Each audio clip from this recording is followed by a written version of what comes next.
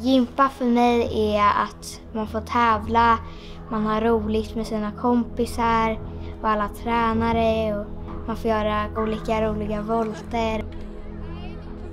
Att få träna och tävla med mitt lag eh, och känna att eh, man både utvecklas individuellt och tillsammans med laget. Gymnastik för mig är en plats där man alltid kan vara sig själv och man har alltid någon att vara med, man är aldrig ensam. Gymnastik för mig är en sport med otroligt mycket lagkänsla och lycka. Det är mycket fart, man får flyga genom luften eh, och det är nog något som jag identifierar mig med som person. Skulle jag ta bort gympan ur mitt liv nu så då vet jag inte riktigt vad som skulle finnas kvar mer. Truppgymnastik är en sport där man tävlar i tre grenar. Fristående, trampett och tumbling. Trampett är en som en liten studsmatta och tumbling kan man köra flickis eller handvolt och så får man pytta lite studs på. och eh, fristående är dans. Dans till musik men även med flera akrobatiska element och eh, gruppmoment tillsammans.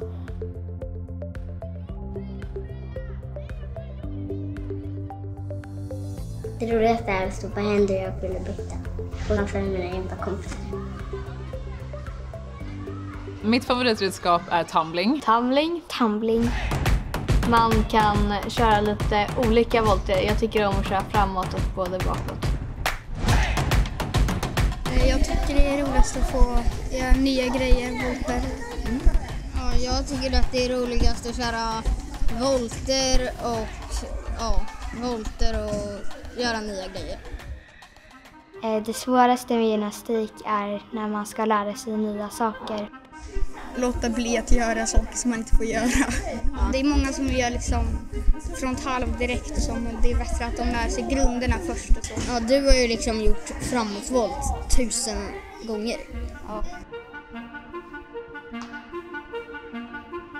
Det finns vissa övningar som man vill uppnå och sen så känns det inte som att det går framåt under väldigt lång tid. Det kan jag också ty- ha ganska tufft.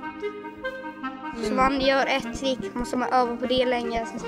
Så det är som en trappa lite. För att kunna tävla på en volt så måste man kunna göra den hundratusentals gånger innan. Alltså för mig handlar det väl mycket om att det ska kännas bra när jag gör volten innan tävlingen. Har jag gjort volten fem träningar, kanske tre gånger per träning, då känns det ganska bra. De som man väljer ut just på tävlingsdagen det är de som kör finast. Till exempel sträckta tår och raka ben och armar och så. Första tävlingen så uh, ingen visste riktigt hur man skulle göra och så men den senaste tävlingen så gick det jättebra för att då har jag lärt mig mer. När vi åker på rikstävlingar och SM-tävlingar eh, och åker till annan stad och tävlar så eh, brukar man direkt känna att man går in i något som kallas för gympabubblan. Man känner sig väl- välkommen överallt och alla hejar på alla. Man åker tillsammans, man hälsar på eh, andra kompisar i andra föreningar eller gamla tränare. Man hejar på varandra och försöker lyfta varje lag ännu högre.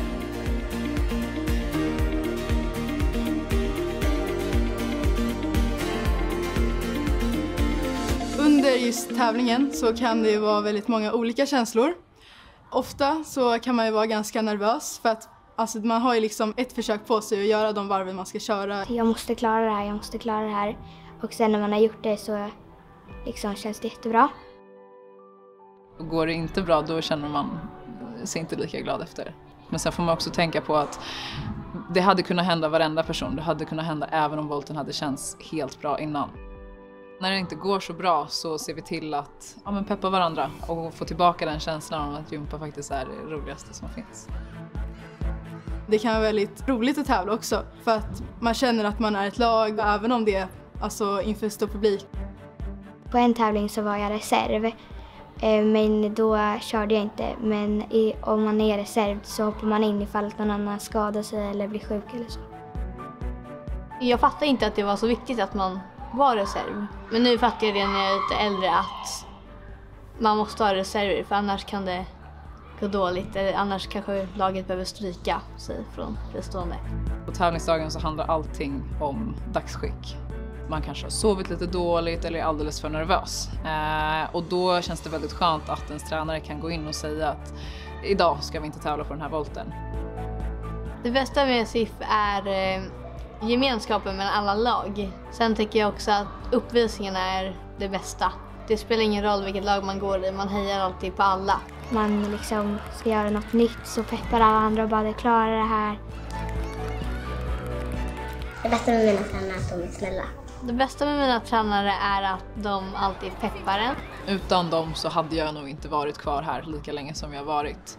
Eh, det är alltid roligt att komma till träningarna. Jag känner att vi har en bra sammanhållning och eh, jag trivs väldigt bra i laget.